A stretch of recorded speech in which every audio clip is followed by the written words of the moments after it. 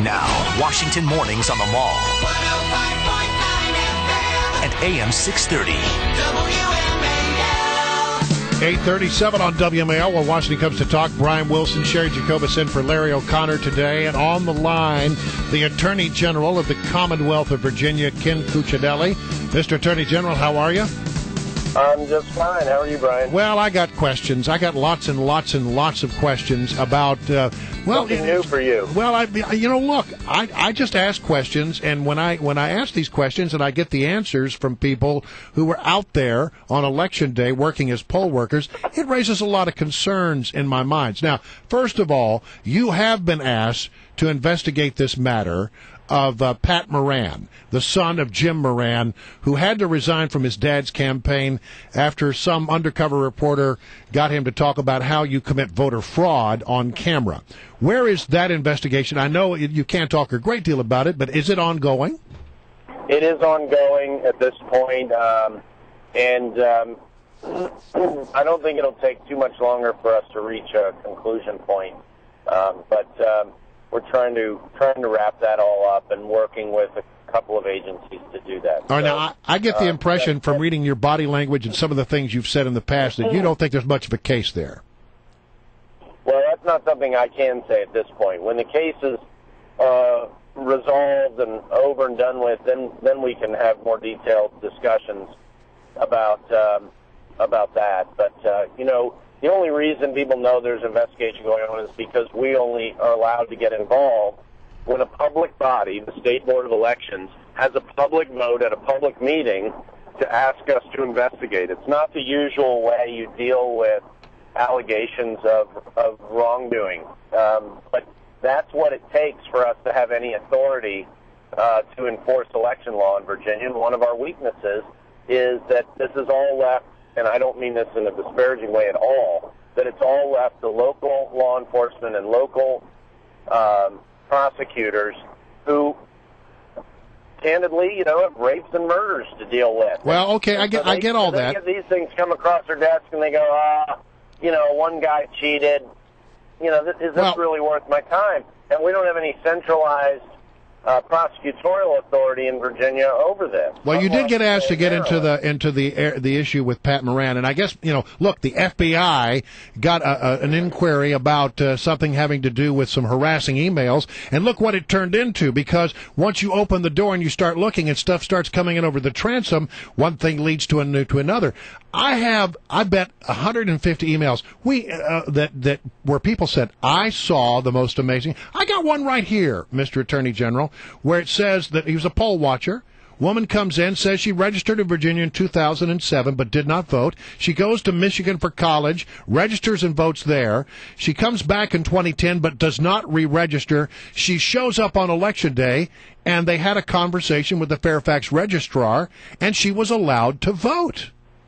I mean, and I, I, can't, I got I got another email, Mr. Attorney General, where we got somebody says I was a nurse in a nursing home, and these these poor old folks who are basically, God bless them, vegetables, were being voted. The people who were voting were the nurses who were filling out the absentee ballots.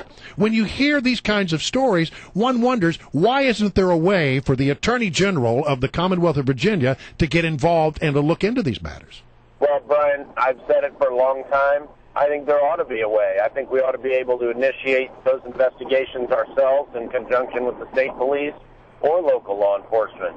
But the General Assembly has not seen fit to allow for any statewide prosecutorial authority to exist to enforce election law. That's where we are, you know, and, and there's been so much discussion about voter ID in this election cycle, but there's three parts to this subject matter we're looking at. There's registration, there is voting and identification. You know, are you the person whose name I have on the poll book in front of me? And there's enforcement. and frankly, it, people may not like to hear it, but the strongest part of that system in Virginia is voter ID. Registration, if you're willing to lie, anybody can walk in and register to vote. And you, yeah, I'm Mickey Mouse. Put me on the rolls. Here's the address. Sure, I'm a citizen. And uh, it, it, it is so simple. and then you've got voter identification, and at least you've got to show something. Well, you know, Um, a lot along. and then and then and then you don't then you have no centralized and I'm a conservative. Centralized isn't usually a good thing. But but when you cross jurisdictional lines like this, you've got to have somebody who's got authority to run an investigation. Now the state police do, but there's no prosecutorial authority that does. And they don't have the manpower to carry this sort of thing forward. And the state board of elections has no zero zero investigators to do checking into any of this. Well, there need there needs to be a way for people to be able to report this stuff and have it looked into. I mean, it, just across the country, we're hearing so many stories, and and people uh, can talk about it, but nothing seems to be done. And in fact, in the states where voter ID is required to Photo vote, ID. photo ID, voter photo ID. Uh, Obama lost every one of those states. He can't win in a state where photo ID is required. So clearly there's something going on out there. And until there's a way to uh, have something done about it, where when you report it, you know it's going to be looked into, uh, the other side just says, oh, well, you know, this, look, you're just Jerry, poor look, losers and look, that sort here- of thing. Your tone suggests you're a little upset with me. You're preaching to the choir. No, we get we get I'm that. upset with you. I'm, I'm, I'm with you completely. Well, I but I don't I don't understand how the Commonwealth of Virginia, first of all, can allow this to go. I mean, if there's one thing that's sacred in America, it's voter integrity. It's that when you when you go to cast your ballot, you are who you say you are, and that there's not a, a, a system that allows widespread fraud. And I'm telling you, reading these emails, you just get furious about what happened on election day in some precincts. I mean, you you've been contacted by this woman Dara Fox who who called us and started this whole thing. We put this out on the internet and we got like twenty thousand hits. People and, and and you could not believe the email. Look, something went on in some precincts that wasn't copacetic. It wasn't. It wasn't right. It wasn't, and and and it, it it's frustrating to hear you, the top law enforcement officer in the Commonwealth of Virginia, say, "I'm sorry, my hands are tied." And, and they are. You know, I have to obey the law. It's kind of important for attorneys general. And um, so I can't go just opening an investigation I don't have authority to open. You, but Uh, once you have one investigation, you can't widen it. Um, we can deal with things related to that investigation that we find. Yes, we, but widen means factually widen, not subject matter. Okay, the state board of elections has has invited us in to investigate this allegation. Therefore, we can go and wander the state looking for violations of election law. We do not have that authority. I do not have that authority. Real quick, Obamacare. I'm against it. Uh, there anything that's going to happen in Virginia as a result? Yeah, uh, you know, look, I, I, I'm particularly, I, I want your Maryland listeners particularly to hear this.